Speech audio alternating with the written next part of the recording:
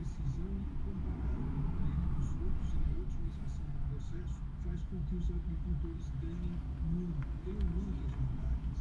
Vantagens estratégicas, como por exemplo a capacidade dos robôs de determinar o nível de nutrição de cada fruto, garantindo que apenas os produtos de mais alta qualidade sejam colhidos. E o registro em tempo real do tamanho, peso, valor de mercado do que foi colhido, identificação georreferenciada das árvores que apresentam algum tipo de doença e uma análise comparativa da produção de cada árvore para saber se elas precisam de algum tipo de fertilização.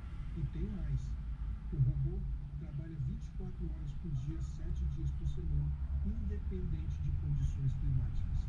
E consegue colher frutos até 7 vezes